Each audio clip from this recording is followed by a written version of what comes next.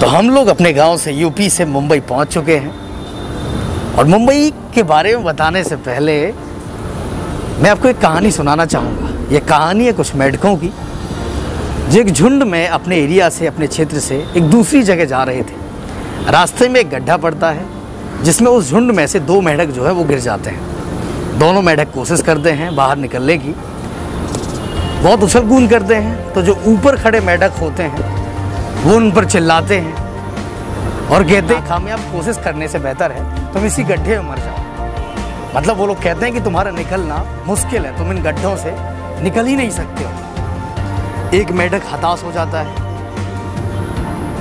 और वो उसी गड्ढे में दम तोड़ देता है। जबकि एक दूसरा मेढक जो होता है, वो लगातार कोशिश करता रहता है और कुछ देर की मेहनत के बाद वो उस गड्ढे से बाहर निकल के आता है। और बाहर निकलने के बाद जो सभी मेढक होते हैं, उनको धन्यवाद देता है। तो वो मेढक हैरान हो जाते हैं कि आखिर धन्यवाद किस बात का? तो वो मेढक धन्यवाद देता है और कहता है, धन्यवाद मुझे इनक्रेज करने के लिए और मैं आप सबकी वजह से ही इस गड्ढे से बाहर निकला हूँ। सभी लोग हैरान हो जाते हैं और आप लोग भी अभी तक हैरान ही होंगे। तो दरअसल होता क्या है, जो ये दूसरा मेढक जो बाहर निकला है, वो बहरा होता है।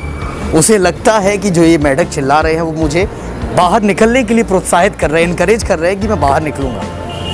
जबकि होता ही उल्टा है। तो इसका मोरल ये है, इस कहानी का, कि आप जो कर रहे हैं, जिस चीज़ में अच्छा है, वो करते रहें।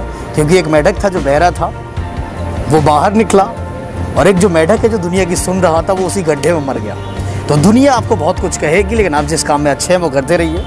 हम भी अपने सपनों को पूरा करने के लिए अपने छोटे से गाँव से राठ तहसील में जो पड़ता है, वहाँ से मुंबई आए हैं और आपको भी सफ़र पर आगे ले जाते हैं। और एक और आप सबसे कहना चाहूँगा कि अभी हमारी जो फैमिली है, वो ठीक है तो आप सभी लोग अपनों तक शेयर करिए, ताकि हमारी फैमिली जल्दी से जल्दी और बड़ी हो।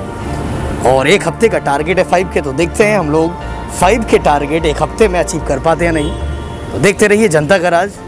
और हम मुंबई की कायदे से आपको सैर कराते हैं। और हाँ कमेंट में आप लोग और जो चीज़ें यहाँ की मुंबई की देखना चाहते हैं, जानना चाहते हैं, वो भी कमेंट में बताइएगा ताकि हम आपको, आपके सवालों का जवाब दे सकें और आपकी मनपसंद चीज़ें आपको दिखा सकें। तो चैनल को सब्सक्राइब करिए और अपनों तक शेयर भी करिए।